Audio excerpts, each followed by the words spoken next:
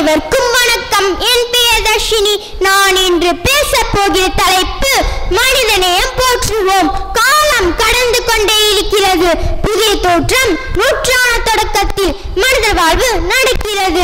விஞ்ஞானியும் விந்தையும் தொழில்நுட்பத்தின் மோகமோ மனிதனே உருமாற்றம் முயலிலும் வேலையிலும் மனிதநேயம் குளிர்க்க வேண்டும் என்று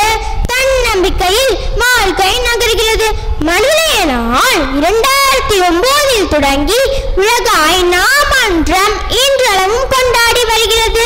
மனிதாபியமானத்திற்கு புகழ் பெற்றவர்கள் தமிழர்கள்.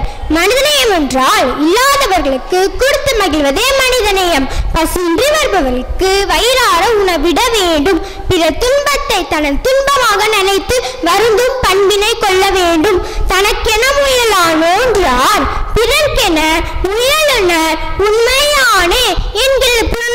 அடிகள் நிறுத்துகிறது. இந்த உலகில் எந்த ஆறும் தனது தாகத்திற்காக ஓடுவதில்லை. எந்த நிலமும் தனது பசிக்காக விளைவதில்லை. எந்த மரமும் தனக்காக கனிகளை உருவாக்குவதில்லை. அதுபோல மனிதனும் தனக்காக வாழாமல் பிறர்க்காக வாழ வேண்டும்.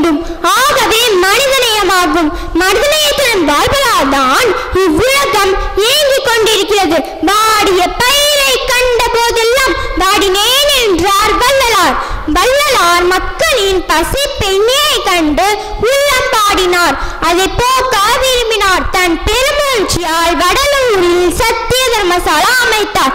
பசியின்றி வருபவர்களுக்கு வயிறார உணவளித்தார். வள்ளலாரின் செயல் இன்றளவும் வடலூரில் தொடர்ந்து நடைபெற்று வருகிறது. வாழ்க்கை என்பது நீ சாகும் வரை அல்ல மற்றவர் மனதில் நீ வாழும் வரை என்கிறார் அன்னை தெரசா. மக்கள் செய்யும் இந்த பணியை இறைவனுக்கு செய்யும் பணியாக வாழ்ந்தார். அக்காலத்தில் தொடுநோய் கடுமையான தொட்டு நோயாக கருதப்பட்டுள்ளது.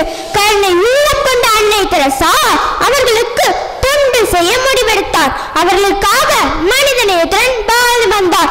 ஒருவருக்கு ஒருவர் உதவிடுவோம். ஒற்றுமையாக வாழ்ந்திடுவோம். மற்ற